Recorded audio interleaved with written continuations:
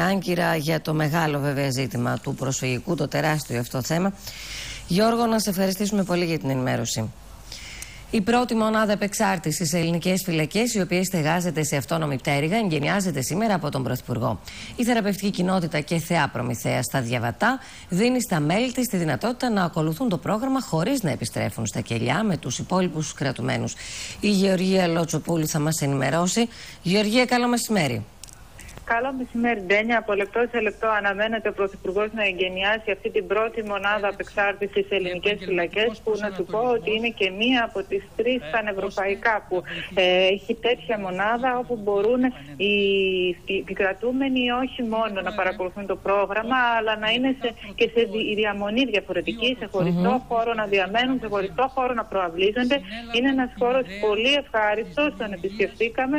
Έχει δύο ορόφους με 14 τέσσερα τρίκλινα δωμάτια, το καθένα έχει τουαλέτα και ντουζιέρα και με, χώρο, με σαλόνι, κουζίνα, όπου εδώ όμως για να έρθουν ε, οι κρατούμενοι πρέπει να έχουν παρακολουθήσει πριν το πρόγραμμα συμβουλευτικής επικεφαλής στις φυλακές, το οποίο δεν ε, διαρκεί λιγότερο από 15 μήνες και στο πλαίσιο αυτό οι πρώτοι 12 κρατούμενοι που έχουν ολοκληρώσει το πρόγραμμα έχουν ήδη εγκατασταθεί στο χώρο εδώ και 10 μέρες και άλλα 50 άτομα που προχωρούν το πρόγραμμα συμβουλευτικής πια προετοιμάζονται για να ενταχθούν. Συνολικά μπορούν να ενταχθούν. Οι 12 είναι οι πρώτοι. Οι 12 είναι οι πρώτοι, Γεωργία.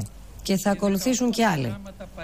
Οι πρώτοι είναι οι 12, θα ακολουθήσουν και άλλοι, mm -hmm. γιατί υπάρχουν κάποια κριτήρια αυστηρά προκειμένου κάποιος να ενταχθεί. Πρέπει να θέλει πραγματικά να απεξαρτηθεί, να έχει παρακολουθήσει